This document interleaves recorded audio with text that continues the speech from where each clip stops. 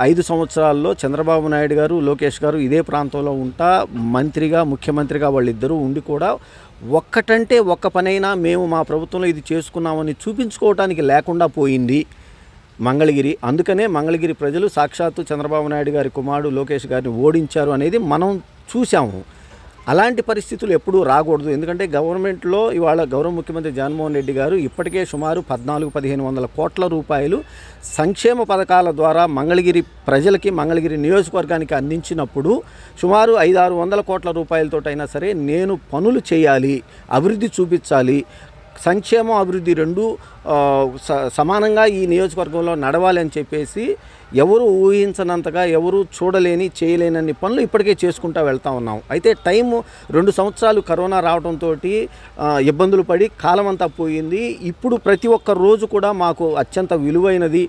ప్రతిరోజు కూడా ఉదయం నుంచి సాయంత్రం వరకు మేము తిరుగుతూ పనులు చేసుకుంటూ వస్తాం అభివృద్ధి వైపు నేను టైం నేను కేటాయించుకుంటేనే నా పని జరుగుద్ది. రెండో వైపున సంక్షేమానికి సంబంధించి ఇప్పటికే వాలంటీర్ వ్యవస్థ కానివ్వండి అదేవిధంగా వార్డు సచివాలయ వ్యవస్థ గ్రామ సచివాలయ వ్యవస్థ వందకు వంద శాతం పనిచేస్తున్నప్పుడు నేను నా నా టైం అంతా కూడా అభివృద్ధి వైపు కేటాయించాలని అనుకున్నాను కాబట్టి అలా ఉన్నాను కానీ రెండోది ఏమీ లేదు. దయచేసి ఎవరు కూడా అపోహలు పడవద్దని చెప్పేసి నేను కోరుకుంటా ఉన్నాను. ఎందుకు చంద్రబాబు నాయుడు గారు ముఖ్యమంత్రిగా ఉండి లోకేష్ గారు ఓడిపోయారు అని అంటే ఎక్కడ పని చేయలేకపోయారు. ఏం ఆ పార్టీకి ఆ రోజున కార్యకర్తలు లేరా?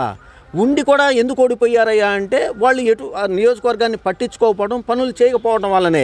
ఇవాళ మేము అటు సంక్షేమానికి జగన్మోహన్ రెడ్డి గారు ఇటు అభివృద్ధికి నేనుగా జగన్మోహన్ రెడ్డి గారు అండదండలతో పనిచేస్తూ ఉన్నాం కాబట్టి ఎవరు ఎక్కడా లేదండి. ఒకటి అరా ఎవరైనా ఉన్నా కూడా ఏమి మనం పట్టించుకోవాల్సిన అవసరం లేదు. ఎందుకంటే వాళ్ళ తప్పన కూడా తిరిగి వైఎస్ఆర్ కాంగ్రెస్ పార్టీ జెండా మంగళగిరిలో ఎగరాలనే ఉద్దేశమే తప్ప వేరేది అయి ఉండదని చెప్పేసి నేను ఖచ్చితంగా చెప్పగలుగుతాను. నేను నేను అదే చెబుతానండి అభివృద్ధిని సంక్షేమంగా అభివృద్ధిని సంక్షేమాన్ని కాంక్షించి నేను పని చేస్తాం ఉన్నాం తప్ప రెండోది లేదు.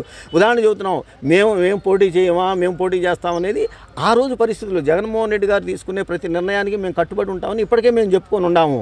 అదే చెబుతున్నా ఎందుకు లోకేష్ గారు మంత్రిగా ఉండి చంద్రబాబు నాయుడు గారు ముఖ్యమంత్రిగా ఉండి ఓడిపోయారు? ఎందుకు ప్రతిపక్షంలో ఉండ ఆర్కేని జగనన్నని గెలిపించారు ఇక్కడ అనే దానికి ఒక్కసారి మనం కూర్చొని ఆలోచిస్తే తెలిసిపోద్ది. వాళ్ళు పని చేయలేదు ఓడిపో ఓడిచ్చారు ప్రజలు. ఇక్కడ పని చేస్తేనే గెలిపిస్తారనేది నినాదం ఉంది కాబట్టి ఆ పని చేసి గెలవాలనే ఉద్దేశంతో ఉండామే కానీ వేరేది ఏమీ కాదండి. ఏమి చంద్రబాబు నాయుడు గారు పసుపు కుంకం ఇస్తే ఎందుకు గెలవలేకపోయారు చెప్పండి?